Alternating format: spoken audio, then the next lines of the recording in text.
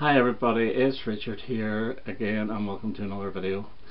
This time I'm going to look at 10 of my favourite double albums of all time. Um, these are all pre-CD age albums because once the CD explosion happened artists seemed to fill um, every album they had up as much as they could jam pack songs into their CDs and nearly every CD was the same as the double album. So I'm only going to look at stuff up to 1989. I'm also going to take a look at two albums that I think should have been double albums rather than single albums. Now normally people will say about a double album, ah that's good but it would have been better as a single album. I'm going to flip this around for two first before I show you my 10 and explain why I think these two should have been double albums. The first one is the Electric Light Orchestra's Secret Messages and this is probably their worst album. Side 1 is actually quite good and side 2 is pretty dreadful. Um, it's probably got one of their worst ever songs on it called uh, Letter from Spain um, even though Train of Gold, the song that uh, comes after it, is also a contender for one of their worst. Um, it's such a disappointment. However, they did release a couple of years ago a double album. Now it was originally intended to be a double album but the record company refused and this here is really good and whenever it comes to songs like uh, Train of Gold and Letter from Spain they actually work a lot better and they're on two different records. One's inside one, or one, one is inside two and the other is inside three. And this is the reasoning why I think some single albums work better as double albums because in the double album setting a per song you tend to be more forgiving of it. And a good example there is the Beatles song Why Don't We Do It in the Road. If that featured on Sgt Pepper or even Abbey Road people would be going what on earth is that doing on that album but because it's on the white album they think yeah it's more forgiving. I quite like that actually and it works well within the album setting. So this here is really good and it's a pity it never originally got released. Um, there's some great songs that never featured on the uh, the original album especially things like Time After Time, Hello My Old Friend and Buildings Have Eyes. But yeah, it's an excellent album, and thankfully they didn't put Beatles Forever on it because it was originally slated to be on the uh, original double album and it's dreadful. So that's one example of an album I think should have been a double.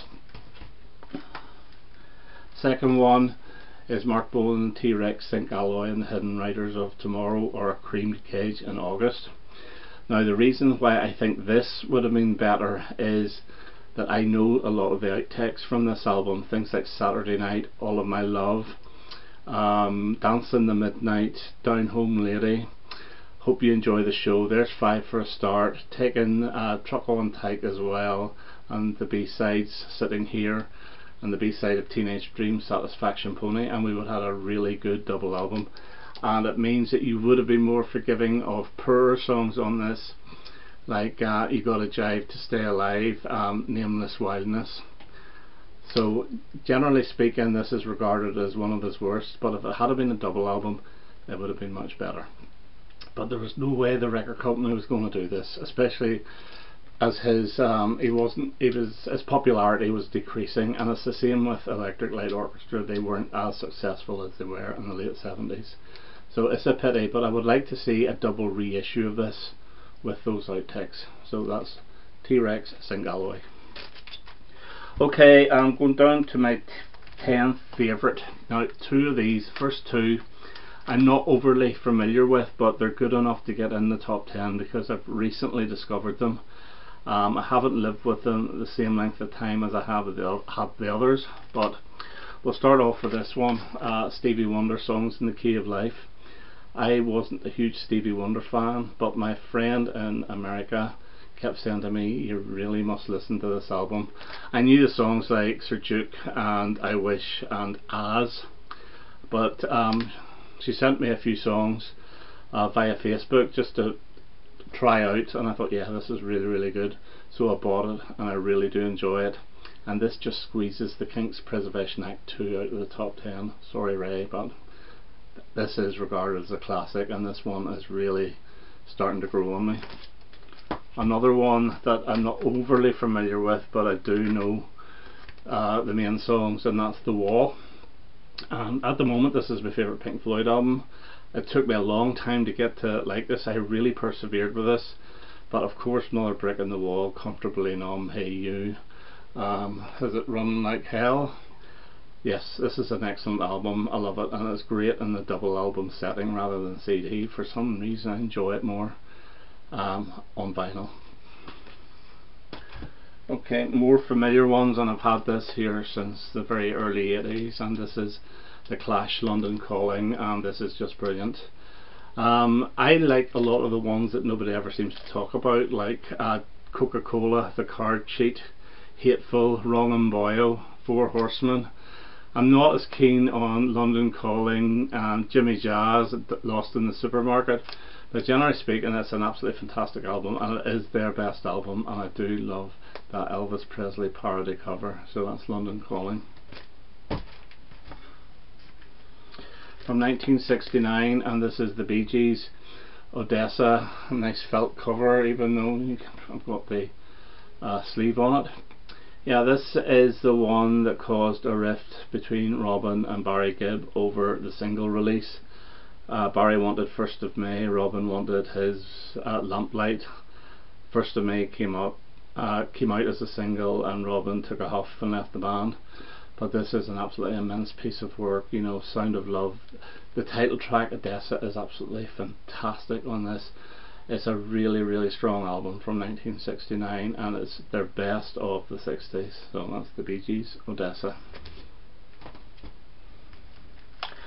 Of course from 1966 and we have Bob Dylan's Blonde on Blonde and there's not a lot you can say about this. Uh, Stuck Inside a Mobile with Memphis Blues again I Want You most likely you'll go your way I'll go mine Visions of Johanna and of course the awesome Sad Eyed Lady of the Lowlands. Absolutely brilliant album and the best album from 66 sorry Revolver but yeah this wins it what have we got now? Alright, from 68, and of course we have the Beatles. Um, yeah, this is one that a lot of people think should be a single album. I don't think so.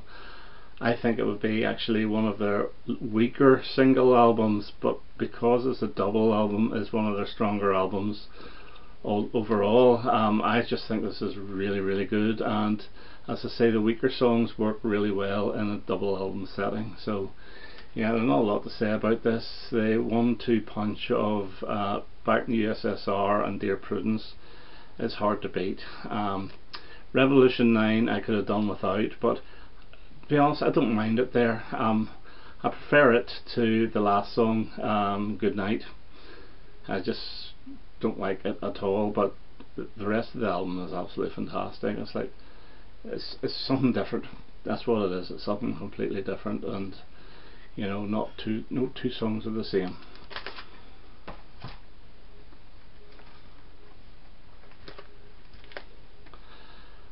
Elton John's Goodbye Yellow Brick Road, 1973 you know side one is absolutely fantastic. Uh, funeral for a friend love lies bleeding candle in the wind and Bennie and the Jets. Could you get any better? Um, the rest of the album is excellent as well. There's nothing I dislike off this I suppose my least favourite is the ballad of Danny Bailey. And um, what is it? I've seen that movie too but this is just high quality. This is Elton's best. It's real high quality. And um, this could have actually been released as two single albums and they would have both have been excellent. So Elton John's Goodbye Yellow Brick Road. Rolling Stones Exile on Main Street and this is the one although I love it I think would have ser been served better as a single album it's got such great songs on it like Happy, uh, Rocks Off, Tumbling Dice, Sweet Virginia, All Down the Line uh, even Turn on the Run. Um, I love it, but there's a couple of weaker tracks on here that just don't do it as much for me, like Shake Your Hips and Casino Boogie. but overall it still gets in my top 10 double albums because of how strong those tracks are. So that's Rolling Stones, Exile on Main Street. Two more to go and Electric Light Orchestra out of the blue. Um, I said, was there a better side than the side one of Goodbye Yellow Brick Road? Well, I think there probably is here because side three of this is probably one of the best sides of music ever. Standing in the Rain, Big Wheels, Summer and Lightning, and the absolutely fantastic Mr. Blue Sky. And side uh, one's not so bad either with Turn to Stone, Sweet Talking Woman that's over and across the border. This is a really, really strong album. Again side 2 is excellent as well. There's only a couple of weaker songs on here like The Wheel which is a little instrumental. And I was never too keen on Birmingham Blues. Now there's another track from these sessions called Latitude 88 North which you know would have been great on this maybe instead of Birmingham Blues. But yeah from 1977 this is an absolutely awesome album and the last one I'm going to show, and this is XTC's English Settlement from 1982. And this is the one with the huge, well, it's not a huge hit, it's one of the biggest hits though, it's uh, Senses Working Overtime, which is brilliant. It's got Ball and Chain on it, um, Jason and the Argonauts, and No Thugs in Our House. Uh, Snowman, which I absolutely love. Um, what's the other? There's quite a few here. All of a sudden, it's too late. I think it's really good. Um, Leisure is really good. Uh, Knuckle Down, fantastic uh, double album. I know it was released in some countries as a single album, but I think this works better as the double album. So it does, and this is one of my all-time favourites and probably my second favourite XTC album, possibly my first. So XTC English Settlement. Okay, that's my 10 uh, double albums um, that I think are the best there are. There, there's other ones as well that I do like, like Bruce Springsteen's The River, but that would have been served better as a single album. And as I mentioned before, the Kinks Preservation Act, which I, I, wanted to put in there, but I had to put the Stevie Wonder in. And another mention goes out to the Genesis Lamb Lies Down on Broadway, which, Broadway, which I really do like, but I'm not 100% into that yet, so it may get in at some stage. Okay, that's me for now. I hope you enjoyed that and I hope to have another video quite soon. Stay safe for everybody. All the best now. Bye bye.